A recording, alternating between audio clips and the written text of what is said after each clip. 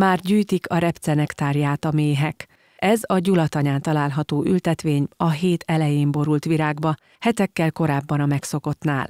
A két és fél hektáros területre tavaly szeptember közepén 165 fajta repcét vetettek. Az állomány állapota ugyan országszerte vegyes képet mutat, itt azonban kifejezetten jónak mondható. Sajátot nem illik dicsérni, de csak a cégeknek a véleményét mondom, de ez az én véleményem is.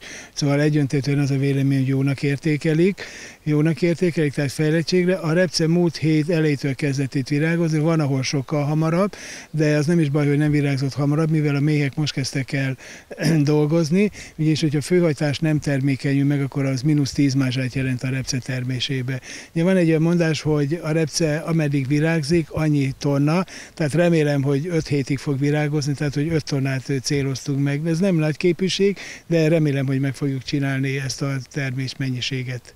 A növény sok figyelmet és hozzáértést igényel, a csapadék mennyisége pedig természetesen a repcénél is kulcskérdés. A vetésnél elengedhetetlen a sok eső, amiből tavaly szeptemberben kijutott, mostanra azonban már akkora az aszály, hogy minden kultúra megsínli azt.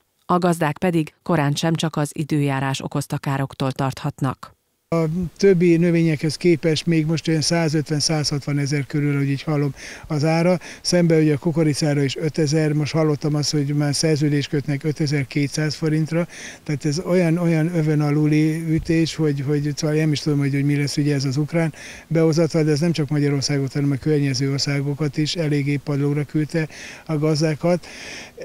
Sajnos azt kell elmondani, hogy, hogy egy dologban szinte biztos vagyok benne, hogy annyi csapadékunk nem lesz, mint a tavalyi év, tavalyi évben, tehát hogy kell egy ilyen termés kieséssel számolni sajnos, de ez sajnos nem csak a repcére, hanem minden kultúrára vonatkozni fog. A repce aratás utáni ára sok tényezőtől függ még. Nemzetközi elemzők szerint a futó termelési időszakban az EU-ban 8%-os terméskiesés várható. Egyes értékelések szerint az olajmag tonnánkénti ára akár 20-30 euróval is emelkedhet.